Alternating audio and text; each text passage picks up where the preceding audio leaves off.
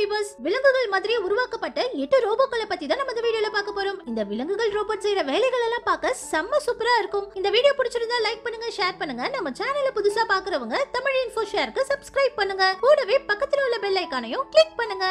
நம்ம முதல்ல பார்க்க போறது ஹம்மிங் பேர்ட் ரோபோட் இந்த ஹம்மிங் பேர்ட் ரோபோட்டை அமெரிக்கால இருக்கிற பேர்ட் யூனிவர்சிட்டி தான் உருவாக்கியிருக்காங்க. இந்த ரோபோட்டை ஹம்மிங் பேர்ட் எப்படி பறக்குமோ அதே மெத்தடை பயன்படுத்தி இந்த ரோபோட்டையும் உருவாக்கியிருக்காங்க. இதனால இந்த ரோபோட்டும் ஹம்மிங் பேர்ட் மாதிரியே சத்தமே இல்லாம பறக்குமாம். இதுல இருக்கிற சென்சார்கள் மூலமா இது தானாவே எதுலயுமே இடிக்காம சூப்பரா பறக்குமாம். இப்ப இந்த ரோபோட் டெஸ்டிங் ஸ்டேஜ்ல தான் இருக்குதாம். எதிர்காலத்துல இந்த ஹம்மிங் பேர்ட் ரோபோட்டை மனிதர்கள் போக முடியாத இடத்துக்குள்ள அனுப்பி ஆய்வு பண்றதுக்காக பயன்படுத்த போறாங்களாம். அடுத்தது ஸ்கார்பியன் ரோபோட் பாக்குறதுக்கு தேல் மாதிரி இருக்கிற இந்த ரோபோட் ரோபோட்டை பெல்ஜியம்ல இருக்கிற ஜென்ட் யூனிவர்சிட்டி ஸ்டூடெண்ட்ஸ் தான் த்ரீ டி பிரிண்டிங் டெக்னாலஜி மூலமா உருவாக்கி இருக்காங்க தேல் எப்படி அதோடைய கொடுக்க வச்சு நம்மள கொட்டுமோ அதே மாதிரி இந்த ரோபோட்டும் இதோடைய கொடுக்க வச்சு கொட்டும். ஆனா இதோடைய கொடுக்கல விஷயத்துக்கு பதிலா மார்க்கரை வச்சிருக்காங்க. இந்த ரோபோட்ல இன்ஃப்ராரெட் கேமரா ஆட்டோமேட்டிக் அலாரம் சிஸ்டம்னு நிறைய ஃபெசிலிட்டிஸ் இருக்காம். எதிர்காலத்துல ராணுவத்துல எதிரிகளை கண்காணிக்கிறதுக்காக தான் இந்த தேல் ரோபோட்டை உருவாக்கி இருக்காங்களாம் அடுத்தது ஷார்க் ரோபோட் இந்த ஷார்க் பின் ரோபோட்டை சைனால இருக்கிற aerospace science and industry corporation தான் உருவாக்கி இருக்காங்க இந்த ஷார்க் ரோபோட்டை இப்ப டெஸ்டிங்காக ஷாங்காயில இருக்கிற ஒரு ஆக்வேரியம்ல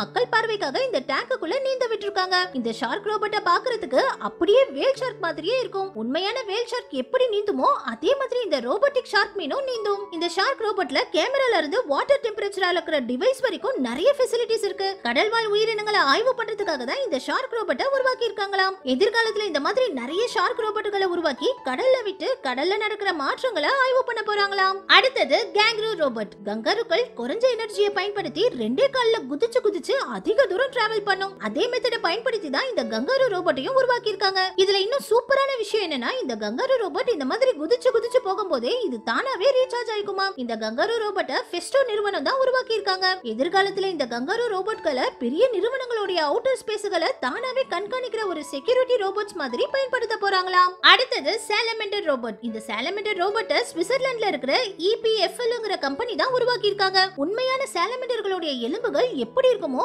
அதே மாடல்ல இந்த சேலமண்டர் ரோபோட்டையும் உருவாக்கியிருக்காங்க. உண்மையான சேலமெண்டர் எப்படி நடந்து போகுமோ அதே மாதிரி தான் இந்த சேலமெண்டர் ரோபோட்டும் நடந்து போகுது. எதிர்காலத்துல இந்த சாலமெண்டர் ரோபோட்டை ரெஸ்கியூ ஆபரேஷன்கள்ல பயன்படுத்த போறாங்களாம். அடுத்தது டிராகன் ஃபிளை ரோபோட் தட்டாம்பூச்சி மாதிரியே இந்த டிராகன் ஃபிளை ரோபோட்டை உருவாக்கியிருக்காங்க. ஜெர்மனில இருக்கிற ஃபெஸ்டோங்கிற நிறுவனம் தான் இந்த டிராகன் ஃபிளை ரோபோட்டை உருவாக்கி இருக்காங்க அடுத்தது ஸ்டிங்ரே ரோபோட் ஸ்டிங்ரே மீன் மாதிரியே இந்த ஸ்டிங்ரே ரோபோட்டை உருவாக்கி இருக்காங்க இந்த ரோபோட்டை சைபோக்னு சொல்றாங்க.